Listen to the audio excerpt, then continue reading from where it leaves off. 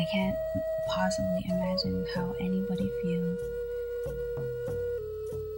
or how any how much everybody was scared that day. And how sad everybody is now.